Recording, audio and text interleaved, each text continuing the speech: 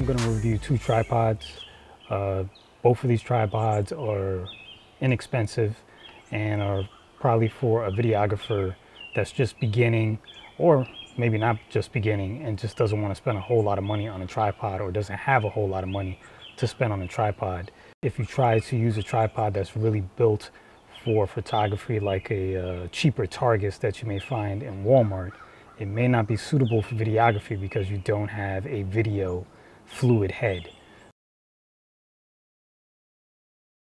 So now let's talk about the mounting plate. Right here, one thing, there's nothing wrong with it, it's pretty good, it's sturdy, it's metal.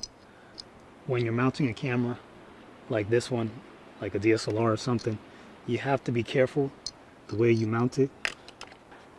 So if I set that to the middle, like so. And I mount it on this camera. The problem you're gonna have is now you, you really can't tighten it because this tightening screw for the plate is always gonna hit your DSLR. So what you have to do, and what can be frustrating sometimes if you don't practice it, is you have to slide the plate all the way to the back like this. And then you also have to have a tool with you to tighten it down like this penny here. So you take your penny and you can tighten that down. Now you can screw this thing all the way in. One thing that I do like about this, so the plate, plate has these little, has this little screw tab on it. So you don't need to have a penny or a screwdriver or anything to tighten it. You just screw it right in. Um, only problem with the plate, the plate is kind of, it's kind of plasticky. Uh, but it's a strong plastic, so you drop this on the floor, it's not going to crack, it's not going to break. It's, it's pretty durable. The other thing I like about this is when you insert the plate back into the tripod, you, you put it in, and you snap it down so you know it's in because it makes a little click the latch springs back and it's locked into place. I kind of like that instead of having to sit there and screw it in because like we saw with the other tripod sometimes your camera gets in the way of that screw and it makes it difficult to screw in. The Davis and Sanford has the option of having two handles here. So you can have it on the left or the right side and it comes with two handles. I just only have one on it because two handles really just looks pretty goofy to me. But with this one, so right now it's, it's on the right side. And you say, wow, well, that kind of sucks. You can only have it on the right side. Well, not really, because you can unscrew this.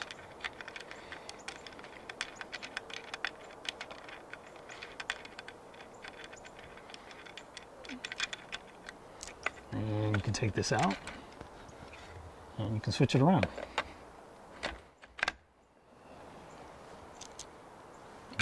Only takes a second.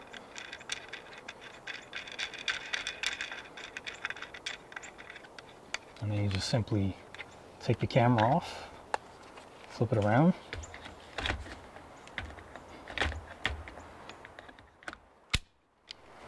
And now it's on the left side. The center spreader on this one is like really, really not that strong. My only problem with it is if I wanted to put like a sandbag on this or something to weight it down. These are plastic. They're not even metal. They're not aluminum. They're not nothing. They're plastic. So if you put some, some weight on this, they may break. Uh, the other one is metal. That tripod is so heavy that I don't really need to put anything on it because it's probably not going to fall over anyway. This one's pretty light. If I was leaving this and I wasn't behind it, I'll be afraid because if someone bumped into that, it will probably fall over with my camera and that would really suck. It's cheap plastic. This thing, I can tell, will definitely break in time. It's not strong at all. So that's going to be a problem in the future. If you let this go, the camera just wants to like fall back down very quickly. So as you can see, you can raise it all the way up and then it just wants to drop back down. But the nice thing is just hold the handle and just bring it down. It's not necessarily terrible. The handle for the adjustment of the center column is also made of metal and is very strong. So that's not going to break on you when you're cranking that handle. The center column raises up very, very high. Now, despite the fact that it raises very high, the only problem with it is, is that it takes forever to raise it because you got to crank this handle.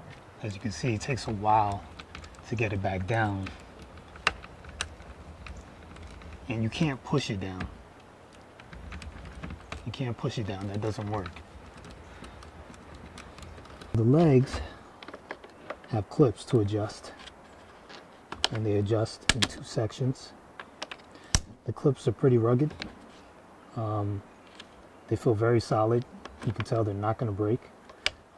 This particular tripod has three sections. This cheaper tripod actually goes higher, believe it or not. Like I said, it has a maximum height of, I believe, 84. The other one has a maximum height of, I think, 78. The tripod bag for the Magnus is very small. You can really only fit the tripod in there, maybe one or two small accessories, maybe a couple of cables, uh, you know, some lav mics or something like that. Uh, the bag itself is not as ruggedly built as the other bag. However, uh, it's still a nice bag. It holds the tripod with no problem. Uh, and, you know, the tripod's light, so you don't really have to worry about the bag ever ripping or tearing or anything like that. Uh, the bag is actually pretty big. It's well built. It's not going to break on you. I've had this tripod now for probably about I want to say two years, and um, I really haven't had a problem with it. It's done pretty well, no problems, and I can actually stuff the tripod in the bag and other gear as well. So I can put the tripod in there, I can put headphones in there, maybe a shotgun mic and some other accessories with no problem.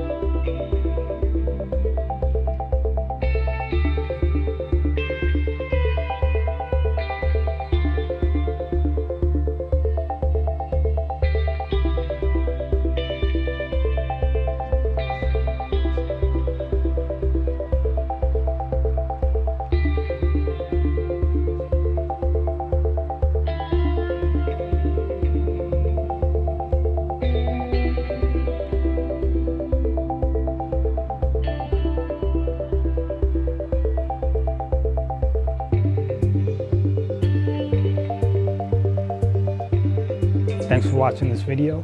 There's going to be more reviews on various pieces of equipment that I own, including some sliders and some rigs, and even the camera that I use to shoot this, which is the JVC 170U. Uh, if you found this video helpful, please like it and subscribe to my channel for future videos. Thank you.